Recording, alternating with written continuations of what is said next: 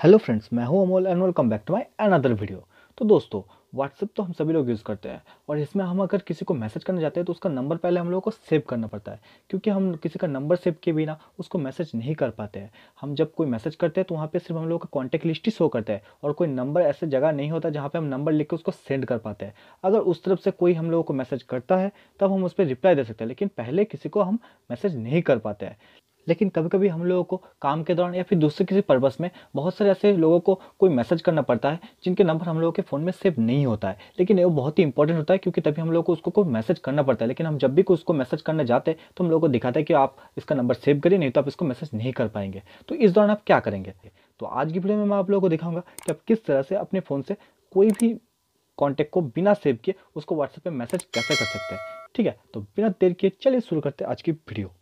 तो दोस्तों, किसी का भी नंबर सेव किए बिना उसको व्हाट्सएप पे मैसेज करने का बहुत ही एक आसान सा तरीका मैं आज आप लोगों को दिखाऊँगा, क्योंकि ये बहुत से लोगों को ज़रूरत पड़ता है। कभी ना कभी तो ज़रूरत पड़ेगा ही, ठीक है? तो आपको क्या करना है? नॉर्मली आपको चले जाना है आपके फ़ोन के प्ले स्टोर पर प्ले स्टोर पर जाने के बाद आपको एक जो ऐप है उसको सर्च करना पड़ेगा, जिसका नाम है व्हाट्स डायरेक्ट ठीक है? व्हाट्स डायरेक्ट आपको सर्च करना पड़ेगा। सर्च करने के बाद वो ऐसा दिखेगा आपका जो लोगो है, ऐसा दिखेगा। आपको इसको इंस्टॉल कर लेना है, ठीक है? मेरे फ़ोन से पहले से ही इंस्टॉल है, इसलिए यहाँ पे ओपन ऑप्शन दिखा रहा है। तो इसको इंस्टॉल करने के बाद आपको नॉर्मली इसको ओपन कर लेना है। ओपन कर लेने के बाद आपको यहाँ पे ऐसा एक इंटरफेस आएगा, ठीक है? तो आपको क्या करना है?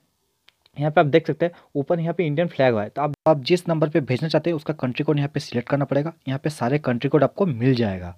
तो सिलेक्ट करने के बाद आपको क्या करना पड़ेगा? नॉर्मली यहाँ पे आप देख सकते हैं, यहाँ पे एक फ़ोन नंबर दिया हुआ है, ठीक है? तो आपको क्या करना पड़ेगा? यहाँ पे आपको उस फ़ोन नंबर को टाइप करना पड़ेगा जिस फ़ोन नंबर पे आप मैसेज करना चाहते हैं। तो नॉर्मली आपको यहाँ पे वो फ़ोन नंबर आपको टाइप कर देना है, ठीक है?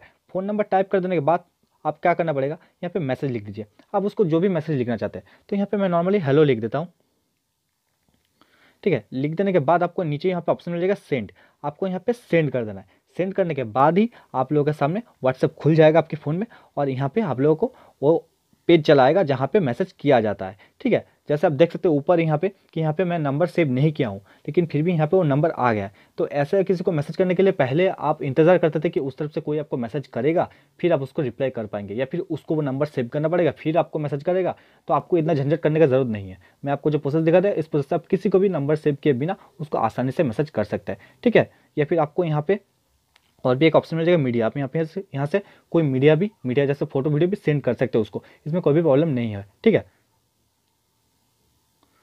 तो दोस्तों वीडियो अगर आप लोगों को अच्छा लगा तो प्लीज़ एक लाइक कीजिए, अपने दोस्तों में शेयर कीजिए, और अगर चैनल पर नए हैं मतलब आप आप अगर पहली बार मेरा वीडियो देख रहे हैं तो प्लीज़ चैनल को सब्सक्राइब कीजिए उसको बाजू वाले बेल आइकन प्रेस करके नोटिफिकेशन को ऑन कर दीजिए, ताकि जब भी मैं कोई नया वीडियो लाऊँ तो सबसे पहला नोटिफिकेशन आपको मिले। तो आज के लिए बस इतना ही। थैंक्स फॉर वॉचिंग मिलता है लोग अगले वीडियो में। तब तक good bye and take care